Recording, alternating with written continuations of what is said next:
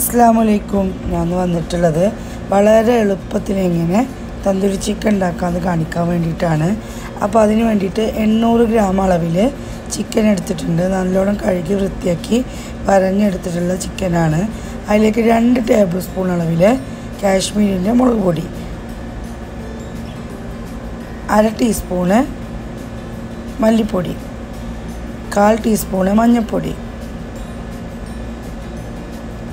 അര ടീസ്പൂണ് നല്ല ജീരകത്തിന്റെ പൊടി അര ടീസ്പൂണ് കുരുമുളക് പൊടി കാൽ ടീസ്പൂണ് ഗരം മസാല ഒരു ടീസ്പൂണ് ഇഞ്ചി ചതച്ചത് ഒരു ടീസ്പൂണ് വെളുത്തുള്ളി ചതച്ചത്.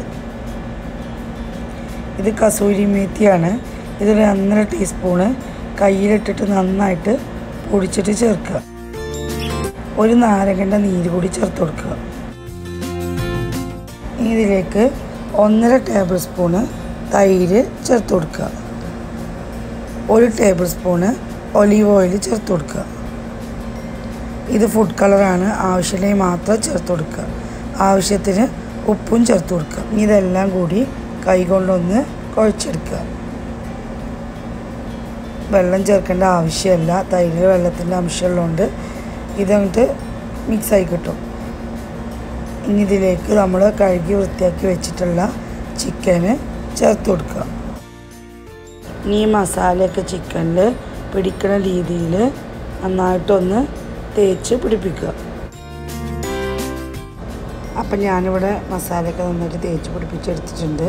ഇതൊരു രണ്ട് മണിക്കൂറെങ്കിലും ഫ്രിഡ്ജിന്റെ താഴത്തെ തട്ടിൽ വെക്കുക. രണ്ട് മണിക്കൂറെങ്കിലും മിനിമം വെക്കുക. എത്ര നേരം വെക്കണോ അത്ര നേരം നല്ലത്. അപ്പോൾ നമ്മൾ മസാല പൊട്ടി വെച്ചിട്ടുള്ള ചിക്കൻ പൊരിക്കാനായിട്ട് ഇതുപോലത്തെ ഒരു പാന് അടുപ്പിൽ വെക്കുക. എന്നിട്ട് നന്നായിട്ട് ചൂടായിട്ട് വരുന്ന സമയത്ത് അതിലേക്ക് നമ്മൾ പൊരിക്കാൻ ആവശ്യത്തിനുള്ള എണ്ണ ഒഴിച്ചു കൊടുക്കുക. ഒരുപാട് എണ്ണ ഒഴിക്കേണ്ട ആവശ്യമില്ല. നമ്മൾ മീനൊക്കെ പൊരിക്കണ പോലെ തിരിച്ചും മറിച്ചു വിട്ടിട്ടാണ് മുങ്ങിക്കിടക്കേണ്ട. അത് അത്ര എണ്ണ ഒഴിച്ചാൽ മതിയാവും. ഇപ്പോൾ എണ്ണ നന്നായിട്ട് ചൂടായിട്ട് വന്നിട്ടുണ്ടെങ്കിൽ ചിക്കന്റെ ഓരോ പീസും നമുക്കതിലേക്ക് വെച്ചു കൊടുക്കാം.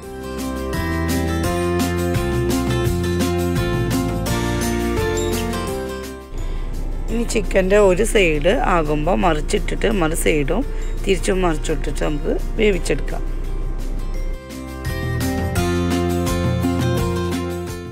ഒരു സൈഡായിട്ടുണ്ട് നമുക്ക് മറിച്ചിട്ടിട്ട് മറു സൈഡും കൂടി വേവിച്ചെടുക്കാം. ഇങ്ങനെ കുറച്ച് എണ്ണ ഒഴിച്ചിട്ട് പൊരിച്ചെടുക്കുമ്പോൾ നമ്മൾ വളരെ ചെറിയ തീയിലിട്ടിട്ട് വേണം പൊരിച്ചെടുക്കാൻ. ഇല്ലെങ്കിൽ പുറ കരിയുകയും ചെയ്യും അകം വേവാതെയും വരും. നമ്മൾ ഈ മീനൊക്കെ പൊരിക്കണ പോലെ ഇങ്ങനെ പൊരിച്ചെടുക്കണോണ്ടാണ് ഇതിന്റെ തൊലിയെല്ലാം ഇങ്ങനെ ചുട്ട പോലെ നമുക്ക് ആയി കിട്ടുന്നത് അപ്പോൾ ഇതായിട്ടുണ്ട് ഇനി ഇത് എണ്ണയിൽ നിന്നും കോരി മാറ്റുകയാണ്.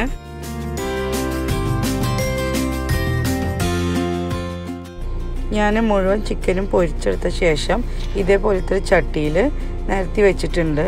ഇതിനൊരു സ്മോക്കി ഫ്ലേവർ കൊടുക്കാൻ പോവുകയാണ് തന്തൂരി ചിക്കൻ ആകുമ്പോൾ ഒരു ചെറിയ സ്മോക്കി ഫ്ലേവർ ഉണ്ടാകും.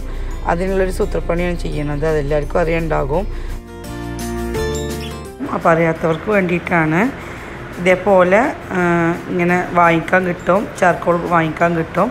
നാട്ടിലാണെങ്കിൽ ഇതിന്റെ ആവശ്യമില്ല. നമ്മൾ കനലൊക്കെ ഇട്ടിട്ടാണ് ചെയ്യാറ്. സാധാരണ ഇവിടെ ഗൾഫിലൊക്കെ ആകുമ്പോൾ ഇങ്ങനത്തെ ചാർക്കോൾ വാങ്ങിയിട്ട് നന്നായിട്ട് കത്തിച്ചെടുക്കുക. നന്നായിട്ട് കത്തിയിട്ട് ഇനിയിപ്പോൾ ഈ ചാർക്കോൾ ഇല്ലെങ്കിലും കുഴപ്പമൊന്നുമില്ല.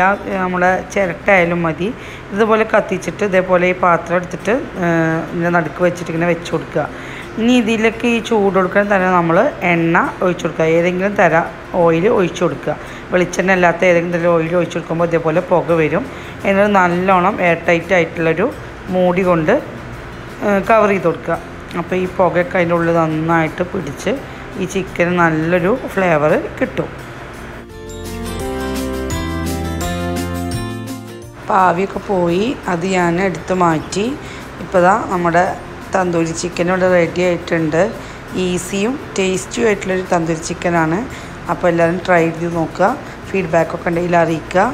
അപ്പോൾ ഇന്നത്തെ വീഡിയോ എല്ലാവർക്കും ഇഷ്ടപ്പെട്ട് കാണുമെന്ന് വിചാരിക്കുന്നു. അപ്പോൾ അടുത്ത വീഡിയോയുമായി കാണുന്നത് വരെ